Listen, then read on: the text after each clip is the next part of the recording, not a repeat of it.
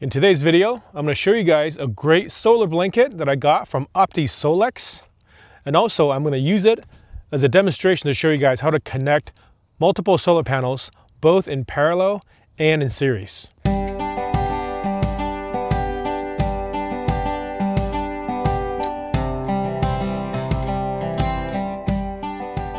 What's up everybody? Welcome to Freely Roaming. My name is Dan. When it comes to solar power, understanding how to properly connect your solar panels is critical in getting the most efficient and safe performance out of your system. So today we're going to break that down step by step. The first thing we'll talk about are how solar panels are built. At the heart of every solar panel are solar cells, typically made from silicon. These cells are the building blocks of a panel and they're small but powerful. Each solar cell produces about half a volt of electricity. On their own, it's not that much, so to reach usable voltage levels, cells are wired together in series within the panel. For example, a panel of 40 individual silicon cells wired in series will have an open circuit voltage of about 20 volts. Most common commercial solar panels output about 20 volts, and a typical 100 watt panel can deliver about 5 amps under optimal conditions at that level of voltage. So here is the Opti Solex Solar Bag 400. Don't let the compact size fool you. This is actually 440 watts worth of portable solar. And it's probably the nicest solar blanket. They call this a solar bag, but it is comparable to what other manufacturers call a solar blanket because there is no way for you to prop this up. This is meant to be hung from a couple of hooks draped over your car or just simply laid on the ground. Now there's a couple of new innovative features with this solar bag that I've not seen before. But let me first show you something that I thought was really cool. The way that this buckles together, it unfolds. So you can unfold it, you can unbuckle it, you can proceed to unfold this out to its full deployment. So there are there are a total of 12 sections like this. The way that this is designed, it is very shade proof. And that is not how a lot of solar panels work. That is pretty unique to how these guys have done it, and I really like that. And I don't know if you noticed, there's also a zipper that goes right down the middle because this is actually set up as two separate panels. Each one of these is 220 watts and they can be unzipped and used separately or used together. And when you unzip it, and each of these have their own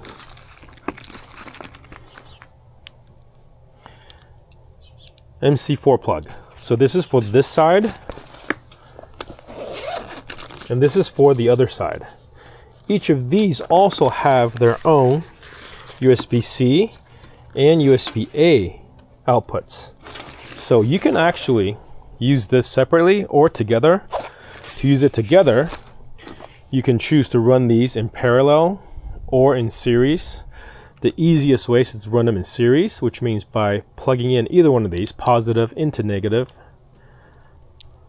and then you'll double the voltage output and you plug these in. Here's the specs. The entire setup with both combined running in series like this. We're outputting a max of 440 watts. And when you connect them in series, the output voltage is 36 volts. Open circuit voltage 42 volts short circuit current 11.8 amps. So that's how you can have a relatively thin wire at running at 440 watts. This is called a SolarBag 400 because I believe this is an updated version where they've actually able to increase the power output by 10% from 400 to 440. And if you use one of these separately at a time, each one is 220 watts. So you just kind of half the wattage and half the voltage of each one and we're at 18 volts, half the open circuit voltage, but at the same amount of amps. Comes with a couple of shoulder straps, so if you want to carry these separately, you can. Also comes with four of these carabiners for you to be able to secure these to hooks, to your vehicle's maybe roof rack. They pack down really, really nicely. 12 by 17 by four and a half inches in dimension. It's 21.06 by 17.16 by 4.53 inches in dimension when both are combined. And when you just have half of them, you have the same width and length but half the thickness at 2.17. It's really nice quality. This is something that I'm really impressed by just by how well this is built. And it's also very thoughtful, thoughtfully designed because I've never seen this. These handles are soft to the touch and they're also very sturdy and the stitching is really good. When you close it and you buckle it together, there's actually a little lever that you can lock the buckle so it doesn't come undone accidentally.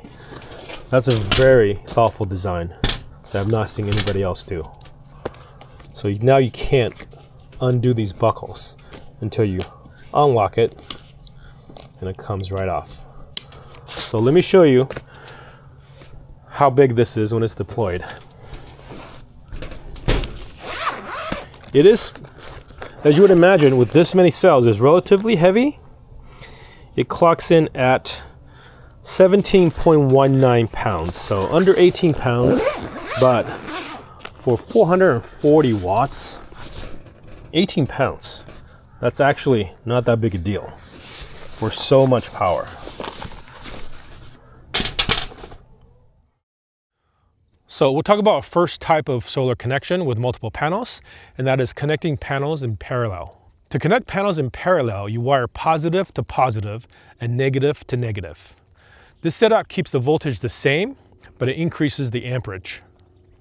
However, it is important to use panels that are the same open circuit voltage to avoid power loss and imbalance.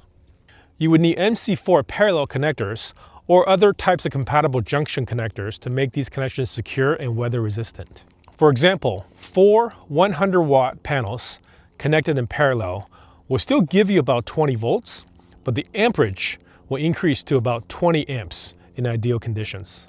And keep in mind, at 20 amps, your typical 10 gauge wire will be near its limit, especially if you have long runs. So make sure you use appropriately sized wires for your connection. Parallel connectors are better for partial shade situations since each panel can operate independently. Next, we'll talk about series connections. Here you connect the negative of the first panel to the positive of the second panel, and you can continue to add additional panels the same way, which is why it's sometimes called a daisy chain connection. In a series setup, the voltages add up while the amperage stays the same. So that means four 100 watt panels in series will output about 80 volts, but the max current still remains at about 5 amps. This approach doesn't require any special junction boxes, just basic wiring, so it's a lot simpler. Series wiring is ideal for simple layouts. It allows for smaller gauge wires to be used since higher voltage will mean less current. However, it is less shade tolerant. A single shaded panel in the series can drag down the entire string. So lastly, we'll talk about a hybrid system, which will have panels that are connected in series as well as parallel. This type of connection is the go-to for larger solar arrays in an off-grid scenario. All the same rules will apply. You want to match voltages for parallel strings, and you want to match amperages for series connections. To demonstrate how this works, let me show you two common configurations of an 800 watt array using eight 100 watt 20 volt panels. First is what we call a 4P2S setup that'll have four panels in parallel and there will be two sets of them connected in series. This will give you a 40 volt system outputting at 20 amps max. Conversely, you can also do what's called a 4S 2P setup That'll give you two sets of four panels connected in series, and those two sets will be connected in parallel. That will give you 80 volts of output at 10 amps of current. The right configuration depends on your charge controller, inverter, wire length, overall system design, and a handful of other things. So whether you're building a small off-grid system or a large rooftop array, understanding how to wire your panels in series, in parallel, or both will help you get the best performance from your solar investment. We're just gonna show you guys how big this is and how easy it is to deploy.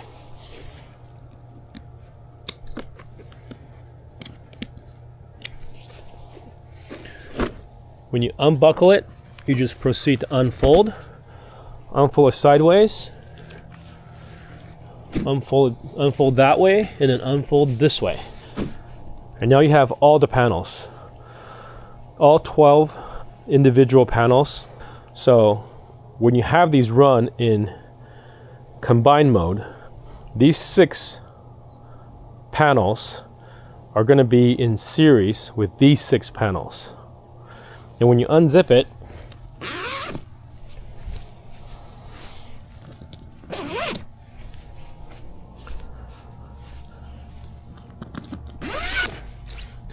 now you have two separate panels that you can carry individually. And this is much, much lighter of a package to carry.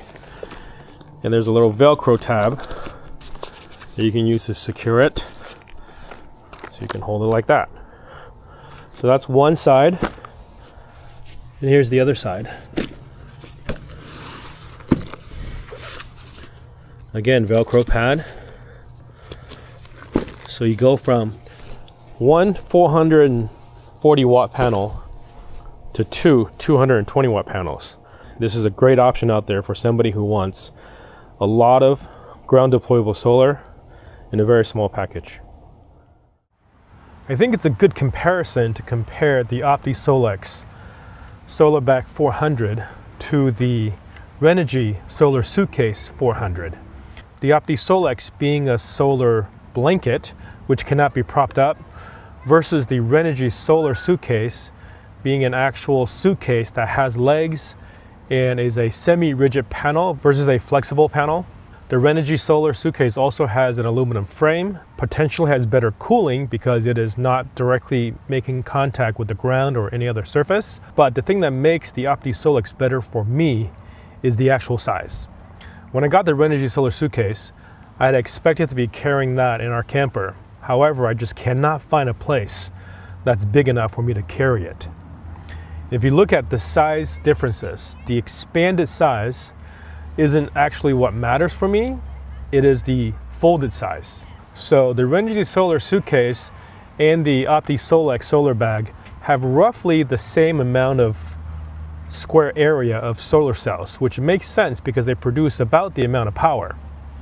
But the folded size is where it really matters.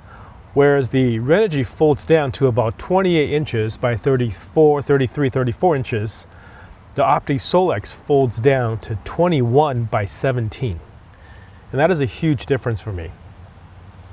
And also, as you can see, it is almost half the weight.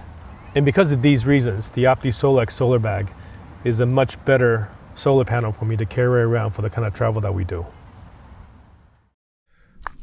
All right, so here we are up in the hills of Santa Barbara. We're camping here for a couple of days, and I thought it was the perfect opportunity to test the OptiSolex. The sun is just about overhead right now, it is actually almost exactly noon at the moment.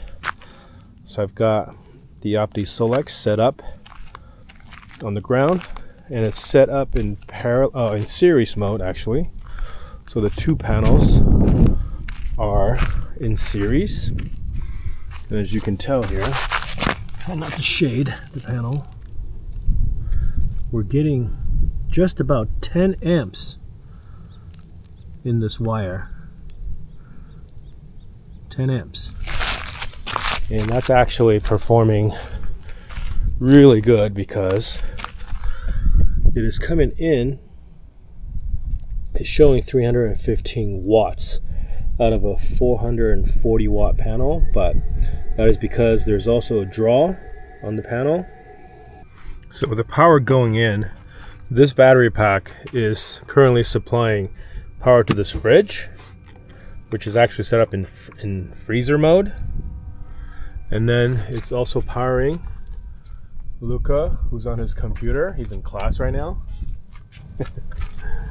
and also it's powering our Starlink Mini on top of the Pelican box. So you'll see that the panel is outputting 40.7 volts because they're connected in series. So at just about 10 amps, we're actually getting 400 watts of, of output from these two panels right now. This battery only charges via alternator usually. I have to plug in a panel right here and I'm using, you can almost see there's a red light right there. That is the Redarc BCDC Alpha 50 which will do both alternator charging up to 50 amps as well as solar. Midday sun, that's like over 90% efficiency. So there you go. That's how you connect solar panels in series. And also that is the OptiSolex 440 watt solar blanket. That's the one of the most compact solar blankets that I've ever seen. And I think it's especially cool that it's actually two 220 watt panels that zips together. Using this system, you can choose how you want to connect your panels both in series or in parallel depending on your situation. If you want to learn more about the OptiSolex 440 watt solar blanket, I'll put a link in the description below. There will be a discount code in the description as well that our friends at OptiSolex has kindly offered. If you want to learn more about solar for off-grid scenarios, don't forget to subscribe to my channel. If you have any other questions, feel free to put them in the comments below. Thanks as always for watching. I'll see you guys in the next one.